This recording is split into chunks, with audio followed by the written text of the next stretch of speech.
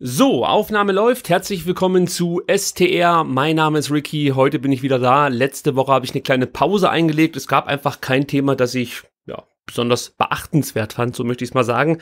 Das sieht natürlich diese Woche ganz anders aus. Der VfB hat mal wieder auf dem Transfermarkt zugeschlagen. Es war jetzt nicht mehr ganz so überraschend, als Michael Reschke gestern Daniel Didavi und Gonzalo Castro vorgestellt hat ich denke mal, jeder halbwegs gut informierte VfB-Fan wusste schon Mitte der Woche, dass vieles darauf hindeutet, dass diese beiden Spieler zum VfB wechseln werden. Und man darf natürlich auch nicht vergessen, Daniel Ginzek hat den Verein verlassen, aber auch das deutete sich ja in den letzten Tagen dann ein Stück weit an. Ja, darüber möchte ich heute so ein bisschen sprechen. Ich werde nachher auch noch was zu den Personalien Pavard, Bartstuber und Manet sagen. Und ganz zum Schluss wage ich noch einen kleinen Blick auf den Spielplan für die Saison 2018, 2019. Ja, loslegen möchte ich mal mit ein paar Worten zum Didavi-Wechsel. Wie viele VfB-Fans ist das für mich kein ganz gewöhnlicher Wechsel. Das ist ein sehr emotionaler Wechsel, weil Daniel Didavi zumindest für mich so ein Stück weit für den Abstieg 2015, 2016 stand. Mit Sicherheit sind damals auch viele Dinge nicht ganz so gut gelaufen und vielleicht auch ein bisschen unglücklich gelaufen für Daniel Didavi. Er hat ja bei der Pressekonferenz auch gesagt, als ich mich entschieden habe, den VfB zu verlassen, standen wir eigentlich in der Tabelle ganz gut da. Er hat so beschrieben, dass der VfB damals noch von der Europa League geträumt hat. Und ja, wir werden uns alle noch daran erinnern können. Äh, es war wirklich so, dass der VfB ja eine ziemlich beeindruckende Serie unter Jürgen Kramny hingelegt hat. Und es schien so, als wäre der Abstieg absolut kein Thema mehr in Stuttgart und man orientierte sich schon so ein Stück weit in Richtung Europa. Ja, im Nachhinein wissen wir, dass das nicht ganz so funktioniert hat, aber er war halt am Ende auch mit einer der Spieler, die das verursacht haben, dass der Traum von Europa nicht Realität wurde, so möchte ich es mal sagen. Es fällt mir deswegen schon so ein Stück weit schwer, einfach nur einen Strich darunter zu machen und zu sagen, ja, mein Gott, er hat damals seine Leistung nicht ganz abrufen können. Das ging vielen Spielern so, da haben viele unter ihren Möglichkeiten gespielt.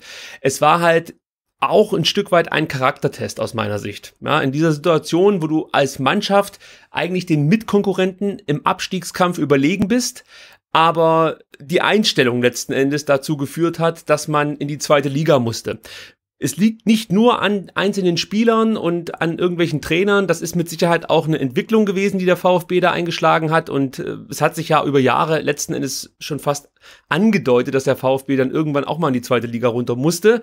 Aber wie gesagt, es war für mich ein Charaktertest, den Daniel Didavi damals nicht bestanden hat. Und den hätte er aus meiner Sicht auch nicht bestanden, wenn er nicht gewechselt wäre. Es, es fehlte halt einfach ein klares Ausrufezeichen, dass er ein Führungsspieler ist, dass er ein Spieler ist, der den Unterschied ausmachen kann und ähm, der unter Druck, ja, das war es natürlich damals, funktioniert. Trotzdem freue ich mich, dass Daniel Didavi wieder zurück ist.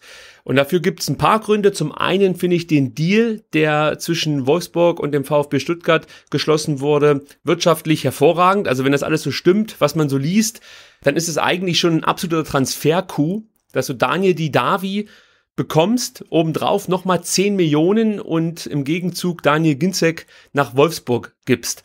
Ich möchte Daniel Ginzek hier nicht kleinreden oder sonst irgendwas, aber rein von der spielerischen Qualität finde ich einen Didavi deutlich wertvoller als einen Daniel Ginzek. Natürlich, beide haben so eine gewisse Verletzungshistorie. Die wird mit Sicherheit ja auch nochmal ein Thema sein irgendwann. Ich hoffe zwar nicht, aber ich könnte es mir sehr gut vorstellen. Aber trotzdem ist ein Daniel Didavi einfach ein Spieler, der dem VfB bislang absolut gefehlt hat und der so wichtig war für die neue Saison. Und ich glaube auch wichtig ist für die Weiterentwicklung der gesamten Mannschaft, weil er halt doch schon Erfahrung hat und weil er ein Stück weit natürlich auch für diesen Verein steht. Auch wenn er jetzt die zwei Jahre da in Wolfsburg mitmachen musste. Er hat sich ja selber ausgesucht, aber ich sage jetzt trotzdem mal musste. Er steht letzten Endes schon für den VfB Stuttgart. Es ist nicht mehr allzu üblich, dass Spieler 18 Jahre bei einem Verein verbringen und ähm, wirklich den Verein so sehr ins Herz schließen, wie das die Davi offensichtlich tut. Denn er hat bei der Pressekonferenz auch mehrfach gesagt, im Nachhinein äh, fehlte ihm einfach was. Ja, der VfB gehört einfach zu ihm, ist ein ganz wichtiger Teil und er dachte eben damals mit 26, ich muss mich jetzt mal irgendwie verändern und das nehme ich ihm auch ab und ich könnte mir auch vorstellen, dass da vielleicht ein Berater ihm mit ins Gewissen geredet hat. Ja, beim VfB, da wirst du dich nicht weiterentwickeln, die spielen nicht international, das Umfeld ist unruhig, du musst jetzt mal den nächsten Schritt wagen. Das kann ich mir schon sehr gut vorstellen. Und ob die Davi da in dem Moment wirklich unbedingt nach Wolfsburg wollte, als er diesen Entschluss gefasst hat, sich einfach mal zu verändern, ja. Da mache ich auch noch ein Fragezeichen dahinter. Also man erlebt das ja aktuell auch mit Max Meyer, der Schalke 04 verlassen hat und von seinem Berater offensichtlich nicht allzu gut beraten wurde, denn der hat ihm wahrscheinlich versprochen, du wirst in der neuen Saison bei einem Top Champions League Club unterkommen. Jetzt sieht es danach aus, dass er nach Marseille muss. Es ist jetzt kein schlechter Verein, aber es ist schon was anderes als Barcelona, Arsenal oder you name it. Also ihr wisst, auf was ich hinaus will. Manchmal werden die Spieler auch nicht allzu gut beraten. Soweit ich weiß, wird Daniel Didavi von Karl-Heinz Förster beraten und das hat sich auch nicht geändert. Deswegen gehe ich jetzt mal davon aus, dass Didavi insgesamt damit zufrieden ist, was sein Berater so für ihn in die letzten Jahre getan hat. So, er ist jetzt wieder zurück. Den Deal finde ich eigentlich nicht schlecht, den man da schließen konnte mit dem VfL Wolfsburg. Wie gesagt, rein von der Qualität ist das ein Spieler, den der VfB definitiv gebraucht hat. Es wäre wahrscheinlich auch ausgeschlossen gewesen, dass irgendein anderer Spieler dieser Qualität für so einen Paketpreis nach Stuttgart gekommen wäre. Natürlich wird Daniel Didavi hier auch den ein oder anderen Euro verdienen. Daniel Ginzek war jetzt auch nicht der billigste. Wenn es stimmt, dann hat er hier beim VfB zwei Millionen im Jahr verdient. Das ist jetzt auch kein Pappenspiel. Ich gehe schon davon aus, dass Daniel Didavi da noch mal ein bisschen mehr verdient. Ja, das ist wahrscheinlich dann letzten Endes auch eine Entwicklung, mit der man leben muss in diesem Profisport. Was ich noch sagen wollte zu Didavi ist natürlich, dass es für mich wirklich besonders ist, dass ein Spieler unbedingt zum VfB Stuttgart will. Das erlebt man relativ selten. Loyalität ist immer ein großes Thema in diesem Fußball-Business. Ich denke mal, die meisten Fans, denen geht's so wie mir, dass man eigentlich mit dem Gedanken abgeschlossen hat, dass ein Spieler wirklich zu 100 Prozent hinter dem Verein steht, zu dem Verein steht und sich voll und ganz mit dem Verein identifiziert. Das ist etwas eigentlich glaube ich da inzwischen nicht mehr dran. Ich weiß jetzt nicht, ob es bei Daniel uneingeschränkt so ist, also bei Daniel Didavi, muss man ja dazu sagen. Aber zumindest hat er mir das glaubhaft auf dieser Pressekonferenz versichern können, dass sein Herz nur für den VfB schlägt und dass es für ihn auch nur den VfB als äh, neue Mannschaft letzten Endes gibt. Er hat ja gesagt, er ist auf die Verantwortlichen des VfL Wolfsburg zugegangen und hat gesagt, wenn dann nur zum VfB Stuttgart. Und das finde ich schon nochmal, ist ist ein Statement, ja. Also ich kann mir vorstellen, dass es auch den ein oder anderen Verein gibt, der Daniel Didavi gerne verpflichtet hätte. Vielleicht auch Vereine, die in der nächsten Saison international spielen. Und äh, da finde ich schon nochmal herausragend, dass die Davi sagt, ich möchte nach Stuttgart, für mich gibt's nichts anderes, das ist mein Verein, hier möchte ich hin. Dafür spricht natürlich auch, dass er immer hier in äh, Stuttgart in der Nähe, um genauer zu sein, in Reudern seinen Zweitwohnsitz behalten hat. Also für ihn war es letzten Endes eigentlich immer klar, er will hier zurück in die Region. Ob das jetzt nach seiner Karriere der Fall gewesen wäre oder ob er wirklich schon immer wieder mit dem Gedanken gespielt hat, äh, irgendwie wieder zum VfB zurückzukommen, ist das andere. Ich gehe nicht davon aus, dass viele Fans Daniel Didavi bei seinem ersten Heimspiel dann gegen die Bayern auspfeifen werden. Und ich würde es auch völlig bescheuert finden. Aus meiner Sicht pfeift man keine Spieler, die das Trikot des eigenen Vereins tragen, ja, aus, das geht nicht. Ja, also da muss man einfach drüber hinwegstehen und schon gar nicht, wenn ein Spieler sich so deutlich positioniert, wie es Daniel Didavi auf Instagram und auch auf der Pressekonferenz getan hat. Also natürlich muss er sich an diesen Worten auch messen lassen. Er hat ja gesagt, er möchte ackern, also ich, ich verkürze das Ganze jetzt mal. Er wird alles reinhauen und alles für diesen Verein tun. Er möchte die Herzen zurückgewinnen. Das ist genau das, was er jetzt auch sagen muss. Und jetzt müssen dem Ganzen natürlich auch Taten folgen. Sollte ihm das gelingen, kann ich mir sehr gut vorstellen, dass die Davis Rückkehr am Ende ein riesiges Happy End ist für den VfB, für Daniel Didavi und am Ende dann natürlich auch für uns als Fans. Der eine kommt vom VfL Wolfsburg zurück zum VfB Stuttgart, der andere wechselt in die Autostadt. Jetzt möchte ich so ein bisschen über Daniel Ginzek reden und über seinen Abgang. Ich kann mich erinnern, vor ein paar Wochen kam das Thema auf. Da habe ich auch schon was in diesem Podcast darüber gesagt und meinte so, ich kann mir eigentlich nicht vorstellen, dass Daniel Ginzek äh, diesen Verein, den VfB Stuttgart, verlassen will. Er weiß, der Verein steht hinter ihm. Der Verein hat immer versucht, Daniel Ginzek zu helfen, hat trotz schwerer Verletzungen weiter an ihn geglaubt. Die Fans waren jedes Mal einfach nur noch entzückt, wenn Daniel zurückkam nach langer Verletzungspause. Jeder hat sich gefreut und hat versucht, alles zu geben, um Daniel dann auch so ein Stück weit natürlich Liebe zu schenken. Das klingt jetzt fast schon zu romantisch, aber es ist ja schon so ein Stück weit. Er war absoluter Publikumsliebling hier in Stuttgart. Also wenn die Aufstellungen vorgelesen wurden, da war es meistens sein Name, der am lautesten geschrien wurde. Und ich dachte so, ja, da wird das nicht einfach aufgeben, nur des Geldes Willens. Und letzten Endes muss man wahrscheinlich sagen, war das Geld der hauptausschlaggebende Grund. Michael Reschke hat das auf der Pressekonferenz auch so ein bisschen durchblicken lassen. Also Daniel Ginzek geht zum VfL Wolfsburg. Rein wirtschaftlich gesehen, das habe ich ja vorhin schon gesagt, ist das eine hervorragende Nummer für den VfB. Du verkaufst Daniel Ginzek eigentlich für 18 Millionen Euro. Also ich würde schon sagen, dass Daniel Didavi 8 Millionen wert sein dürfte heutzutage. Dann eben die 10 Millionen, die es dann noch oben drauf gibt, dann bist du bei 18 Millionen Euro, die der VfB Stuttgart für Daniel Ginzek bekommt.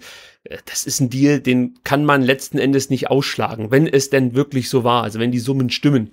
Da kann man nur einen Hut vorziehen, wenn Michael Reschke das so eingefädelt hat. Wer hätte sich das denken können, dass Daniel Ginzek mal für 18 Millionen Euro vom VfB wechselt. Vor allen Dingen nach dieser ganzen Verletzungsgeschichte, nach äh, jetzt auch nicht einer grandiosen Saison. Ist ja jetzt nicht so, dass Daniel Ginzek irgendwie 25 Buden gemacht hätte.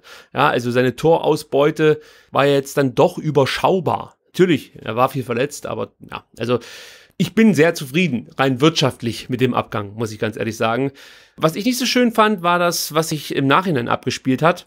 Es ist ja üblich, dass Spieler dann immer auf, ja, meistens Instagram, manche auch auf Twitter, sich nochmal von den Fans und vom Verein verabschieden. Das hat Daniel Ginzek natürlich auch getan, aber er hat schon so ein Stück weit durchblicken lassen, dass er sich nicht richtig wertgeschätzt fühlte vom VfB. Ich erinnere mich jetzt gerade an so einen Zwischensatz, da meinte er, ja, als der VfB im Winter Mario Gomez verpflichtet hat, wusste er, dass die Führung nicht oder dass der Verein nicht auf ihn setzen würde als Stürmer Nummer eins. Und da muss man natürlich sagen, zum damaligen Zeitpunkt war Daniel Ginzek verletzt, hat sowieso sich eigentlich immer wieder mit Verletzungen rumschlagen müssen. Es gab kein verletzungsfreies Jahr und natürlich muss ein Verein, der zu diesem damaligen Zeitpunkt auch kaum Tore geschossen hat, schauen, dass man einen qualitativen, guten Stürmer verpflichtet, wenn man die eigentliche Nummer eins im Sturm, Simon Terodde, abgibt, vor allem an einen Mitkonkurrenten. Also, dass der VfB nicht sagt, ich gebe Terodde ab und Daniel Ginzek wird das dann schon richten. Das kann ich nur nachvollziehen. Was das Ganze auch dann noch mal so ein Stück weit in Frage stellt, ist, dass er kurz vor seinem Wechsel innerhalb Stuttgarts nochmal umgezogen ist. Er hat ja jetzt hier diesen Mietclub, die Metzgerei für Reiche eröffnet. Auch das würdest du wahrscheinlich nicht unbedingt machen, wenn du felsenfest davon ausgehst, die Stadt in naher Zukunft verlassen zu wollen. Ich weiß nicht, warum er das geschrieben hat. Vielleicht hat er auch wirklich so empfunden. Vielleicht gab es auch Gespräche ja mit mit Taifun Korkut und ähm, Taifun Korkut hat ihm vielleicht dann gesagt, ich möchte in der neuen Saison ein anderes System etablieren, ich möchte dann eigentlich nur mit einer Sturmspitze spielen und du bist der Herausforderer. Vielleicht hat Daniel Ginzek darauf keine Lust gehabt, das muss man dann akzeptieren. Und im Prinzip finde ich es auch nicht schlimm, wenn ein Spieler nach einer gewissen Zeit sagt, ich möchte jetzt zu einem anderen Verein wechseln, aber dass man dann sich im Nachhinein so äußert, muss nicht unbedingt sein. Ich finde jetzt auch nicht, dass man das zu hoch hängen sollte, aber auf der anderen Seite kann man natürlich sagen, lass diesen Nebensatz einfach weg, bedank dich für die schöne Zeit, Sag den neuen Freikartenbesitzern, du freust dich auf das großartige Stadion und die wunderschöne Stadt.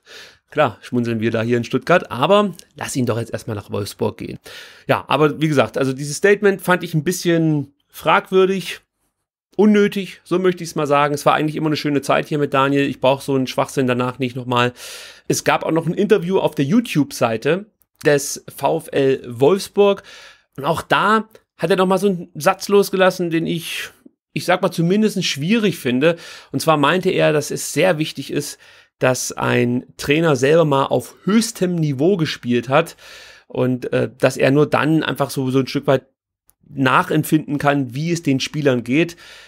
Ich möchte diesen Satz auch nicht zu hoch hängen, aber Daniel Ginzek war ja auch einer der Spieler, dem man so ein bisschen unterstellt hat, dass er dafür verantwortlich war, dass Hannes Wolf eben entlassen wurde beim VfB Stuttgart. Ihr wisst, es gab damals die Aussage, ich erreiche nicht mehr alle Spieler von Hannes Wolf und man hat sich gefragt, welche Spieler könnte er damit gemeint haben. Daniel Ginzek war einer davon, der so ein bisschen gerüchtet wurde und mit so einem Satz trägt er nicht unbedingt dazu bei, dass dieses Gerücht aus der Welt geschafft wird. Also auch hier, ich verstehe das, dass er vielleicht dann so ein Stück weit Bruno Labbadia Honig um den Mund schmieren will und sagen will, damit, äh, ja, ich freue mich auf die Zusammenarbeit mit Bruno Labbadia, ja, das, das, das mag sein, aber so viel Weitsicht musst du als Profi dann auch einfach haben, dass so ein Satz dir vielleicht etwas anders ausgelegt werden könnte. Also wie gesagt, alles im Allen möchte ich die ganzen Aussagen von Daniel nicht zu hoch hängen. Ich finde sie nur unnötig und hätte es schöner gefunden, wenn er sich einfach verabschiedet hätte und wäre dann nach Wolfsburg gegangen. Und ich wünsche mir natürlich, dass er erfolgreich ist in Wolfsburg. Sage ich euch so, wie es ist. Ich wünsche nicht Daniel Ginzek jetzt noch mehr Verletzungen oder so. Der Kerl hat mit Sicherheit riesiges Potenzial gehabt kann jetzt froh sein, wenn er noch mal ein paar Jahre verletzungsfrei Fußball spielen kann. Aber das war ein Spieler, der aus meiner Sicht, äh, wenn er verletzungsfrei geblieben wäre, definitiv ein Nationalstürmer hätte werden können. Und er war auch ein Stück weit eine Lebensversicherung für den VfB Stuttgart, sonst wäre äh, unsere Mannschaft schon viel früher abgestiegen. Also das möchte ich alles nicht vergessen an diesem Punkt. Vielleicht war es jetzt dann auch einfach mal so weit, dass er diesen Tapetenwechsel brauchte und äh, sich, wie gesagt, einfach nicht genügend wertgeschätzt fühlte vom Verein. Muss man dann auch akzeptieren, ist dann so. Obwohl wir es vielleicht, oder ich sag mal nicht wir, sondern obwohl ich das anders sehe. So, das waren so die beiden emotionalen Transfers, die Davi und Ginzek. Wie gesagt, ich glaube, für den VfB ist das ein sehr, sehr guter Deal gewesen. Äh, es gab noch einen zweiten Spielerwechsel, beziehungsweise einen Zugang, so möchte ich es mal sagen, und zwar Gonzalo Castro. Was soll man dazu sagen? Ja, es ist halt ein sehr solider Spieler, der mir eigentlich ganz gut gefällt, so von dem, was er auf dem Spielfeld macht. Ihm wurde in Dortmund auch so ein bisschen nachgesagt, also nicht von jedem, muss man dazu sagen, aber ich habe das so ein paar Mal auf Twitter gelesen, dass er schon jemand äh, war, der zu den sehr gut verdienenden Dortmunder Spielern gehörte. Äh, das kann ich natürlich jetzt nicht nachprüfen, aber es hieß da sechs bis acht Millionen soll er im Jahr verdient haben. Wenn das der Fall gewesen wäre, dann äh, ist es natürlich schon ein Statement. Äh, beim VfB wird er sehr wahrscheinlich nicht auf diese Summe kommen. Nichtsdestotrotz wird er nicht ganz billig sein und deswegen kann ich verstehen, dass der ein oder andere zumindest eine Augenbraue nach oben zieht, wenn man hört, dass man den 31-jährigen Gonzalo Castro verpflichtet, der dem Verein wahrscheinlich in Sachen Etat eine Menge Ressourcen abknüpfen wird. Nichtsdestotrotz ist das für mich ein sehr, sehr guter Wechsel. Wie gesagt, das ist ein sehr solider Spieler, der auch in Dortmund, in den ersten beiden Jahren in Dortmund hervorragende Leistung gezeigt hat. Vielleicht sogar besser war, als ich das damals erwartet hatte, als er nach Dortmund ging. Ich fand auch, dass er in Leverkusen immer sehr gute Spiele gemacht hat.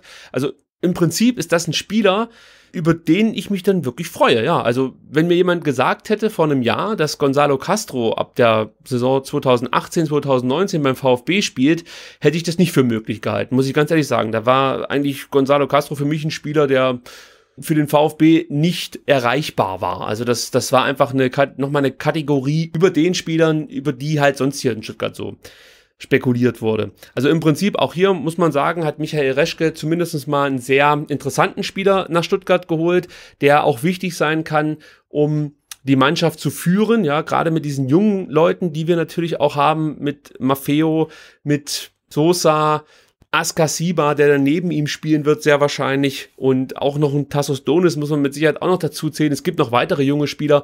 Da ist das schon mal nicht schlecht, so jemanden mit in der Mannschaft zu haben. Das hat man ja jetzt auch bei der Nationalmannschaft mitbekommen, wie wichtig zum Beispiel so ein Mario Gomez für junge Nationalspieler war. Ja, Timo Werner hat das zum Beispiel angesprochen. Und ich glaube, das sollte man nicht vernachlässigen. Trotzdem glaube ich nicht, dass Gonzalo Castro jetzt der Typ ist, der mal richtig Dampf macht auf dem Platz, also der die Mannschaft wachrütteln kann, so wie das zum Beispiel Holger Bartstuber gemacht hat. Insgesamt hat der VfB mit Sicherheit davon profitiert, dass Castro und Reschke sich schon Ewigkeiten kennen. Reschke meinte so, es gibt keinen Spieler, keinen Profispieler, mit dem er mehr Verträge geschlossen hat als mit Gonzalo Castro. Und es hat sich schon so angehört, dass Castro sehr, sehr viel Wert darauf gelegt hat, was von Reschke so kam, was ihm da so erzählt wurde, was ihn hier in Stuttgart erwartet. Äh, also von daher, auch hier möchte ich mal sagen, wenn ein Castro jetzt nicht absurde Summen im Jahr verschlingt beim VfB Stuttgart, ist das ein Transfer, den man machen kann, auf den ich mich prinzipiell freue. Ich bin der Meinung, mit beiden Spielern verstärken wir uns eindeutig und äh, das ist ja letzten Endes auch Sinn eines Transfers. Und vor allem sind es zwei Positionen, die ich absolut als Baustelle im Kader für die Saison 2018, 2019 angesehen habe. Ja, die Baustellen wurden jetzt sozusagen beendet. Äh, das Konstrukt steht nun, möchte ich mal so sagen. Es kann sich vielleicht noch was auf dem Transfermarkt tun. Reschke hat ja angekündigt, er hat noch einen Pfeil im Köcher, da warten wir mal ab wer es dann sein wird oder ob es überhaupt noch jemand sein wird. Aber es gab natürlich auch noch ein paar Namen, die auf dieser Pressekonferenz angesprochen wurden, über die ich auch kurz noch was sagen möchte. Reschke wurde natürlich gefragt, wie sieht's eigentlich aus mit äh, Benjamin Pavard? Der bietet sich ja so ein Stück weit bei der Weltmeisterschaft an. hat da eigentlich die entscheidenden Spiele immer von Anfang an bestritten. Man muss also sagen, dass er definitiv zur Stammelf der Franzosen gehört und das ist schon eine Auszeichnung für so einen jungen Spieler, der vor einem Jahr auch noch kein Thema war bei der französischen Nationalmannschaft. Natürlich gibt es immer mehr Gerüchte, beziehungsweise halten sich die Gerüchte, die es schon lange gibt, dass viele große Vereine versuchen, Benjamin Pavard vom VfB wegzuholen. Und Reschke hat klipp und klar gesagt, egal was uns geboten wird, wir wollen Pavard halten. Entwicklungen seien möglich, also das war dann noch der Zusatz. Das ist eben so im Fußball, aber er möchte, dass Pavard in der neuen Saison das Trikot mit dem Brustring trägt. Das kann natürlich jetzt auch bedeuten, dass Reschke einfach nur pokert und damit den Preis nach oben treiben will. Sehr wahrscheinlich hat es damit schon was zu tun. Aber es kann natürlich auch wirklich der Wunsch sein von Michael Reschke, Benjamin Pavard nicht vor Saison 2019, 2018 gehen zu lassen. Also ich halte das für durchaus möglich, dass der VfB sagt, okay, es gibt die Möglichkeit, dass er nach der Saison 2018, 2019 den VfB verlässt, aber jetzt definitiv nicht. Vielleicht macht Reschke das Ganze auch davon abhängig, ob Holger Badstuber beim VfB bleibt. Da scheint die Tür auch noch nicht ganz zu zu sein. Also Reschke hat ja mal vor einigen Wochen doch relativ hoffnungslos gewirkt, was ein Verbleib von Holger Badstuber in Stuttgart angeht. Jetzt hat er gesagt, es gibt Gespräche, also zwischen Holger und Champions League Clubs. Das ist auch weiterhin der Wunsch von Holger Badstuber, aber die Tür ist nicht zu. Und es ist durchaus möglich, dass da nochmal eine Entwicklung entsteht, die dazu führen könnte, dass Holger Badstuber doch beim VfB bleibt. Und dann wird aus meiner Sicht natürlich ein Wechsel von Pavard auch wieder wahrscheinlicher. Ich glaube, dass es unheimlich schwer sein wird für den VfB Stuttgart, wenn Pavard und Bartstuber gehen. Also ich glaube, da reißt man dem VfB so ein Stück weit das Herz raus, weil die Abwehr halt einfach unsere Lebensversicherung war in der letzten Saison und eine komplett neue Abwehr zu installieren, das ist schon eine Mammutaufgabe. Klar, es gibt noch die alten Bekannten Insua, Andy Beck oder wie Resch gesagt Andy Beck aber ja, ich weiß nicht. Du hast dann auch noch die zwei Jungen mit Maffeo und Sosa, die man auch an die Mannschaft ranführen möchte. Kämpft, da weiß er auch noch nicht so richtig, ob der verletzungsfrei so eine ganze Saison übersteht. Wir haben es in der letzten Saison gesehen, Timo Baumgartel ist auch ein paar Mal ausgefallen mit der Gehirnerschütterung. Man wünscht ihm natürlich, dass das Ding durch ist, aber 100% sagen kann ich das auch nicht. Also das wäre sehr, sehr riskant, glaube ich, wenn beide Spieler den VfB verlassen. Ja, da habe ich kein gutes Gefühl. Ich bringe es mal so auf den Punkt. Also ich hoffe, da entwickelt sich noch was. Entwicklungen sind auch noch bei Carlos Manet möglich, der jetzt erstmal zurückgekehrt ist nach Lissabon und aufgrund der etwas unruhigen Zeiten dort noch nicht so richtig weiß, ob er da nun bleiben wird oder ob er doch nochmal nach Stuttgart kann. Reschke möchte definitiv mit der neuen Vereinsführung, sobald die sich da etabliert haben, nochmal die Gespräche aufnehmen und ich glaube, dass ein Michael Reschke da auch noch darauf hofft, dass Manet wieder beim VfB oder zumindest eine Saison noch beim VfB spielen kann. Ich bin auch der Meinung, wenn man Manet nochmal ausleiht, muss eine Kaufoption, eine vernünftige Kaufoption mit abgeschlossen werden. Also 15 Millionen sind dann natürlich utopisch für einen Spieler mit der Verletzungshistorie, aber vielleicht findet man einen Deal, wie man das Wagnis Manet nochmal eingehen kann. Ja, das war es soweit von der Personalfront, möchte ich mal so sagen. Ich schaue noch mal kurz hier über meine kleinen Notizen, die ich mir gemacht habe, währenddem ich die Pressekonferenz angeschaut habe. Gibt es da noch irgendwas, was ich vergessen habe? Ja, vielleicht eins noch, was ich sehr interessant fand. Michael Reschke wurde natürlich aufgrund des Ausscheidens der Nationalmannschaft so ein bisschen darauf angesprochen, ob sich Deutschland Sorgen machen muss, was die Nachwuchsarbeit angeht. Und das hat er bejaht und hat gesagt, ja, man muss so ein Stück weit davon wegkommen, dass man junge Spieler schon zu sehr mit dem Thema Taktik konfrontiert. Man muss ein Stück weit davon wegkommen, alles in Formen pressen zu wollen und den Spielern mehr die Möglichkeit geben, sich zu entwickeln. Und der VfB in Form von Thomas Hitzesberger sieht das auch als große Herausforderung für unser Nachwuchsleistungszentrum an, da ein Umdenken einzuleiten. Also das finde ich auch noch ganz interessant. Ist ja auch ein Thema, das, denke ich mal, dem einen oder anderen VfB-Fan so ein Stück weit auf der Seele brennt, die Jugendarbeit. Ja, also das war immer unser Alleinstellungsmerkmal über viele Jahre in der Bundesliga, dass wir enorm viel Topspieler entwickelt haben, das ist jetzt so ein bisschen abgerissen. Man möchte dahin wieder zurück. Es dauert natürlich eine Weile, bis da eingeschlagene Wege deutlich sichtbar greifen, aber zumindestens hört sich vieles danach an, dass der VfB äh, nicht ganz falsche Rückschlüsse zieht. So möchte ich es mal sagen. So, dann bin ich aber wirklich durch hier mit diesen Pressekonferenzthemen und äh, wage noch einen Blick auf die neue Saison. Der Spielplan für die Saison 2018-2019 wurde veröffentlicht und ich finde es eigentlich ganz okay, wie es sich für den VfB aktuell darstellt. Den Auftakt werden wir in Mainz machen. Das finde ich sogar sehr gut, weil Mainz natürlich so ein Stück weit der Tiefpunkt der letztjährigen Saison war. Also die beiden Auswärtsspiele in Mainz, einmal im DFB-Pokal und dann natürlich äh,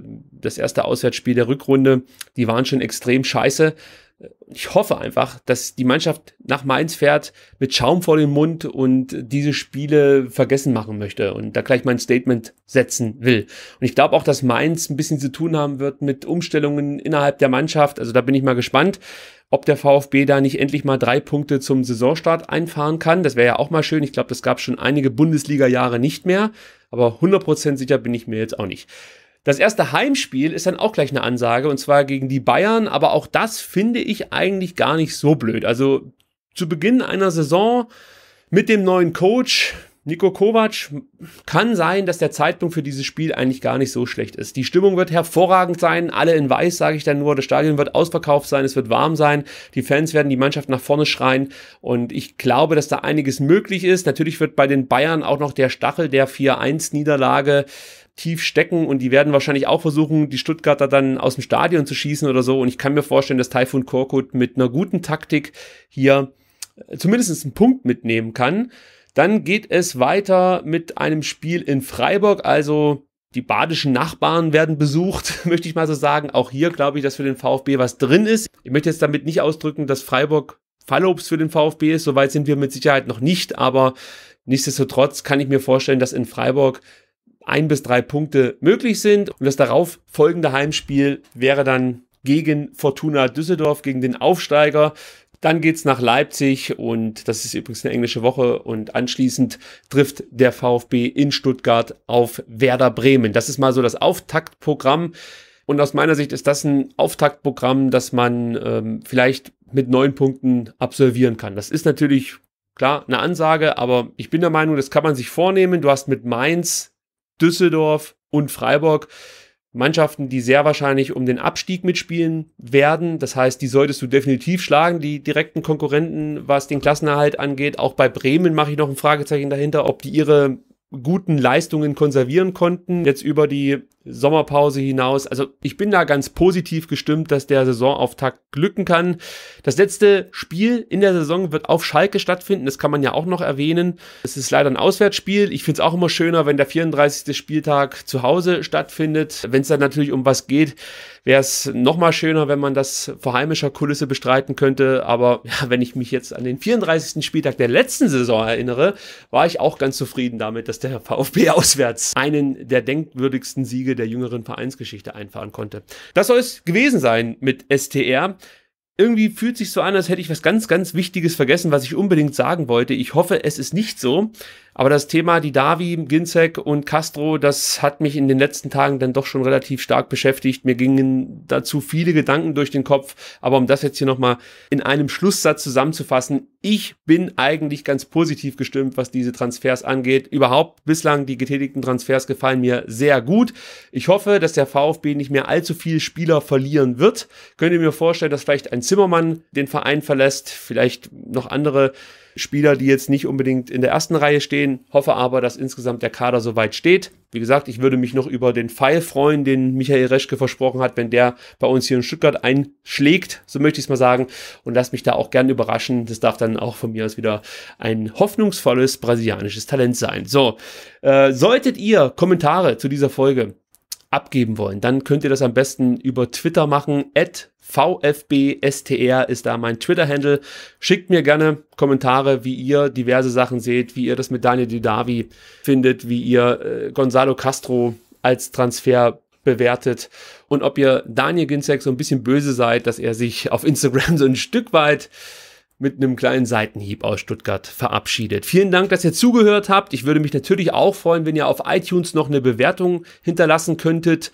Äh, am besten eine 5-Sterne-Bewertung. Das hilft, um in den iTunes-Charts nach oben zu steigen. Und es hilft auch, mein 4,0 Rating auf iTunes so ein bisschen zu verbessern. Solltet ihr Kritik an diesem Podcast haben, könnt ihr mir die natürlich auch zukommen lassen. Ebenfalls auf Twitter at VfBSTR und wenn es gar nicht anders geht, natürlich dann auch auf iTunes. Würde mich halt freuen, dass wenn jemand hier nur einen Stern vergibt, äh, dass er vielleicht ganz kurz erklärt, was ihm nicht so gut gefällt. Dann kann ich es ja versuchen, etwas besser zu machen. Ich wünsche euch noch eine schöne Zeit und wir hören uns demnächst wieder. Bis dahin, tschüss.